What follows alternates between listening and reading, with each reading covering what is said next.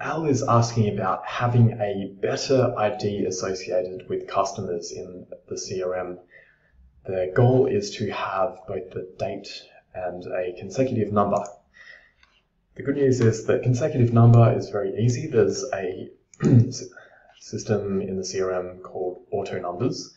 So we can add a contact number or a customer number, whatever you want to call it, auto number, which will start at one. It can start at whatever you would like it to. You can see here, I've got it starting at 1,408, yeah, that number. And then the other thing we can do, we can add in the contract start date using a formula field.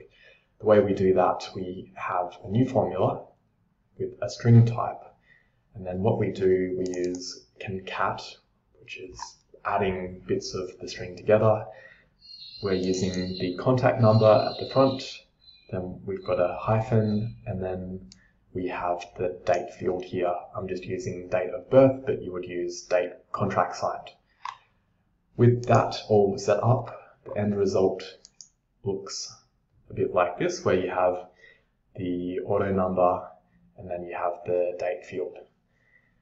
And if you wanted it to look a bit differently, rather than having it with the time at the end as well, what you could do is where I've got to string. Instead, you could have year, and then you could have, I think you probably have to do to string here as well. And then we could do the month and the day.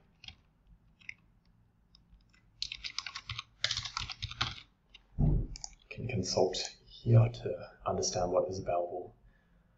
So we can see month, exists, and then we'll need day of month as the final one.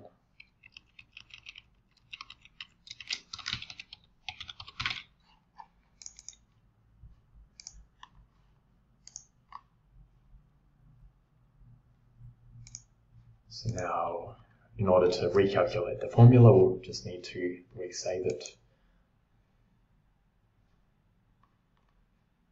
You can see it looks a bit like that, which may or may not be useful, but you could play around with it. Hopefully that gives you an idea of how you could structure a more useful customer designation rather than relying on this very long ID up here.